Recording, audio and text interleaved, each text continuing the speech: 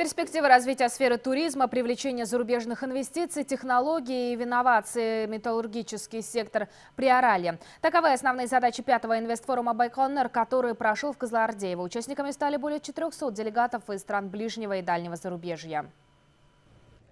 Знакомство с регионом началось с космодрома Байконур, где со стартовой площадки гости из ФРГ, Австрии, Японии, Италии, Польши и других стран смогли наблюдать запуск ракеты-носителя «Союз».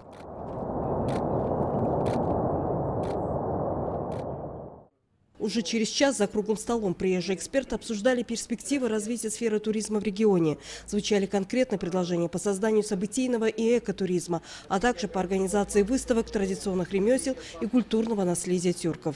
Развитие туристской инфраструктуры на Байконуре, на наш взгляд, даст новый импульс развитию индустрии туризма региона. При условии создания соответствующей инфраструктуры он может стать одним из успешных туристических продуктов и Казахстана, и России.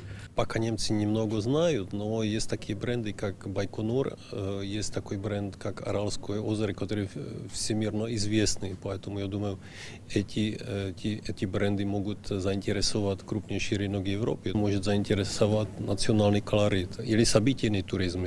Для европейцев и немцев это специально интересно.